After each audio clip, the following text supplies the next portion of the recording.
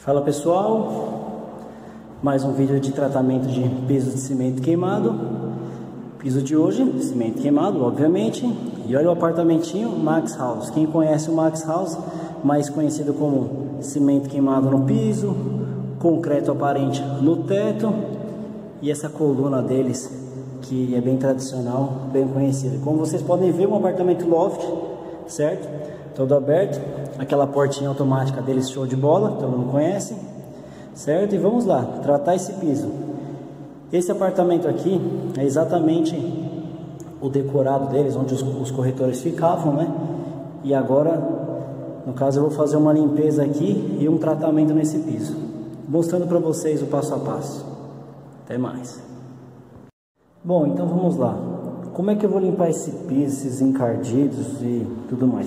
Primeiramente, com o removedor de ceras líquidas ou ceras mil. Poxa, mas não tem cera esse piso? Não, realmente não tem cera, mas como ele é um produto desengordurante, ele vai me ajudar bastante a desencardir esse piso e desengordurar, obviamente, né, e tirar essas marcas do piso de encardido.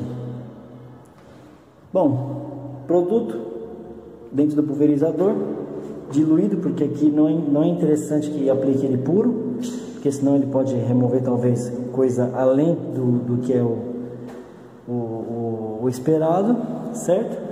E uma enceradeira industrial, com o disco verde, se possível um disco um pouco mais gasto, não tão novo para não danificar o piso. É isso aí, vamos lá, na massa. Bom pessoal, já foi feita a limpeza do piso, completamente limpo. Obviamente que essas marcas são do próprio piso, mas vocês conseguem ver até as marcas do disco da enceradeira, certo? Desengordurei todo o piso, tirei as marcas. E agora fazer a aplicação da cera de carnaúba. Qual é o processo? Utilizar a cera de carnaúba das ceras mil, certo?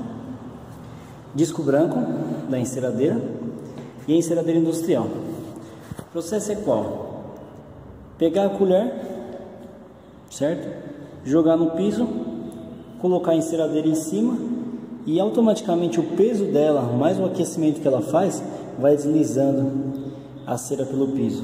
Porque se você for ver, ó, a cera ela é um pouco dura, certo? Mas com o peso e o aquecimento, ela vai ficando mais oleosa e ela vai espalhando, vai impermeabilizando depois ela clareia. Bom, vamos lá então. Serinha de carnaúba, certo? Das ceras mil. Colherzinha. Ok. E levanta a enceradeira, põe em cima, ligou.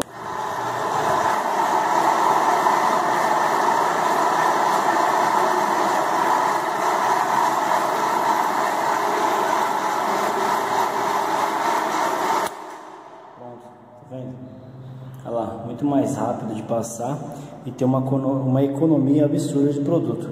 Fazendo dessa forma que eu falei. Recapitulando, cera de carnão das ceras mil, a colherzinha básica, disco de enceradeira branco, os outros espalham, é, não, não espalham legal, tem que ser o branco, e enceradeira. Fica a dica.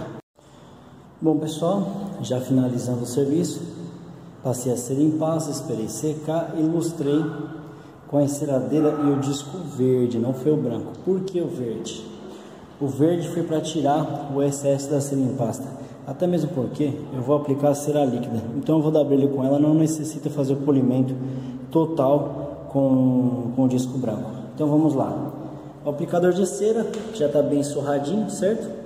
A dica legal é usar um, um cabo extensor, seja maior para poder esticar mais a cera. A cera de alto brilho das ceras mil e o pulverizador, certo? Bom, pulverizador é como eu mostrei para vocês. Você põe o produto lá dentro e ó, despeja ele. Olha lá que beleza, certo? Agora pegar o aplicador, coisa simples, tá vendo? E vai aplicando. É assim que vai fazer o, a aplicação da cera líquida.